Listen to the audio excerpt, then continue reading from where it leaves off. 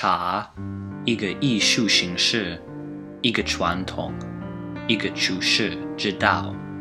人类超过三千年，有以培养一种植物，有启发很多的事，有触发创办很多的商路，也有新很多的文明。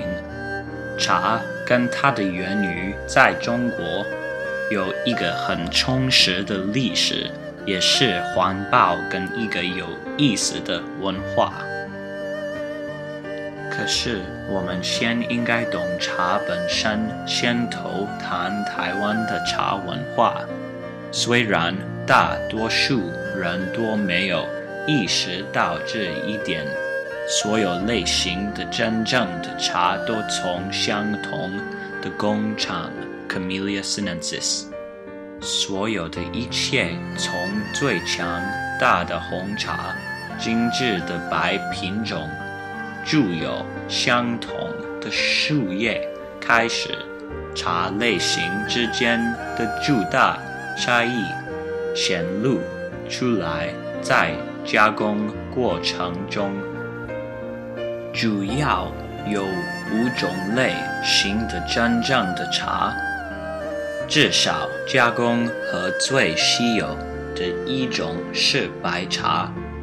最年轻的叶白茶种植在高山，只吃了两个年全年。绿茶是第二类型，也取得了用很少的处理。然不同白茶、绿茶蒸干燥前变化的叶子味道。第三种类型的茶是乌龙茶，乌龙茶更是处理比无论是白色或绿色的品种，但仍维持着一种微妙的香味。乌龙茶的部分氧化、烤、冷、炸发式前准备出售。第四类茶是最常见的，在西方世界，红茶是处理广泛，这将导致在很暗红色的茶汤和沉重的味道。出售前，叶片被压碎、完全氧化、压制并干燥。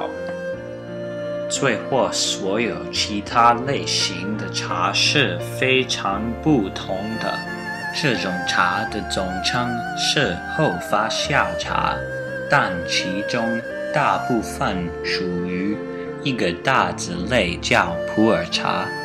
尽管最终深褐色茶的酒红色、绿茶普洱开始了它的生活，这是蒸、冷榨。就像其他绿茶干燥，但这种相似的地方结束。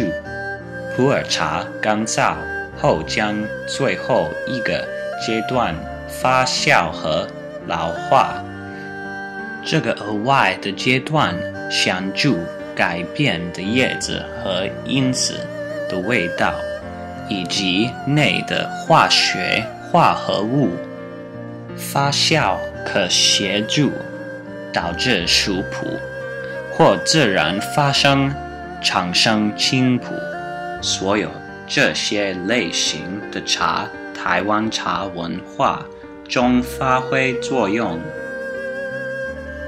在一七一七年，首次有记载的栽培茶在台湾开始在一个地区被称为水沙连。近现今鱼池和丁布里南投县，这些植物的具体来源是未知的。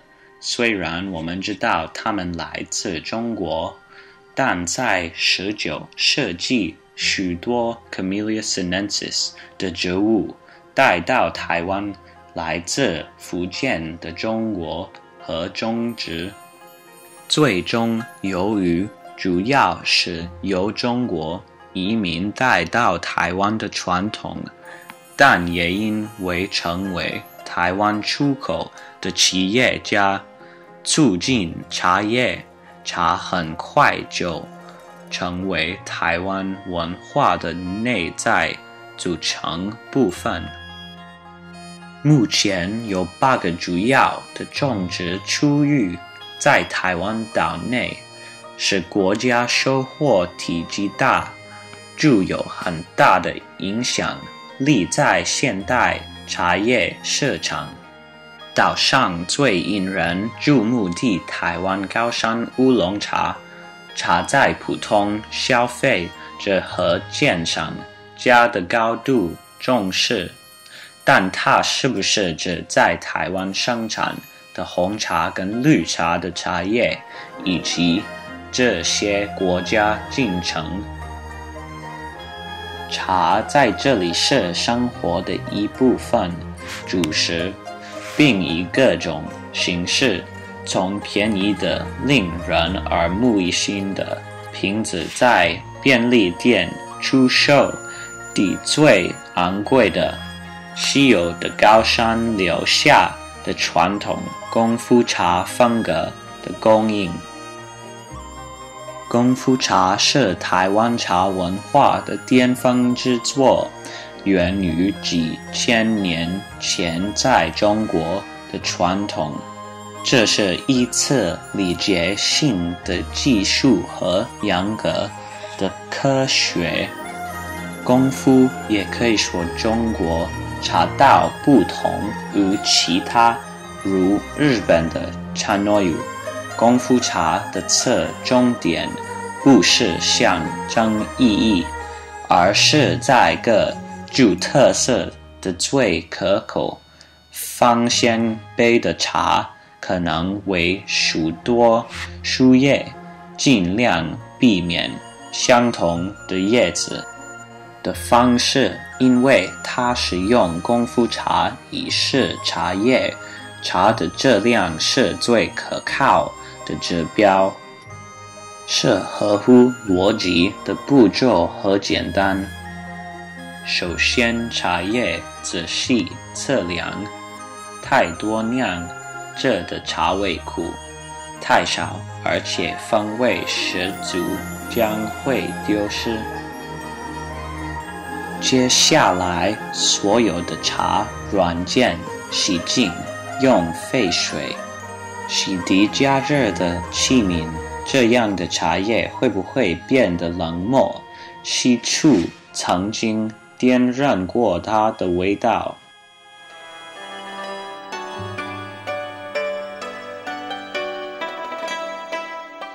在此之后，茶叶被添加。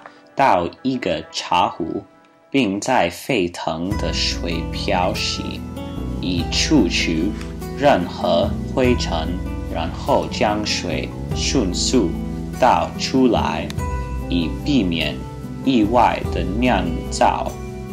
这种垃圾水往往涉氢超过作为第二次洗涤和一种方法。来灌注杯茶船只，最后一步是酝酿，这将重复多次，直到叶子失去了味道。一个特殊的步骤可以添加，只在第一次冲泡，且仅单茶是一种多种，如乌龙茶、绿茶。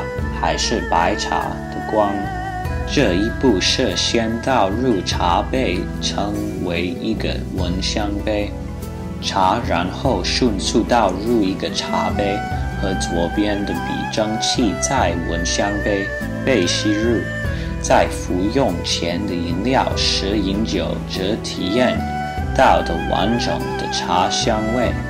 与此相关，功夫茶。仪式是完整的。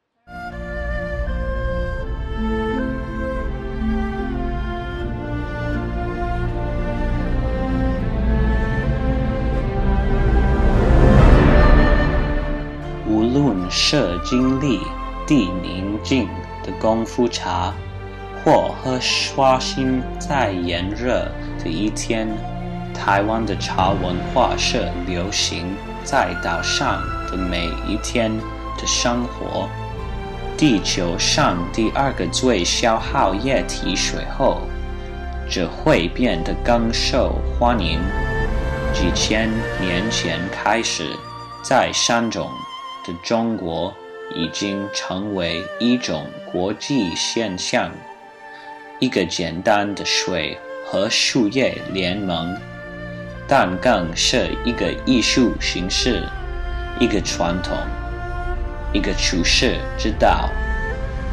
茶。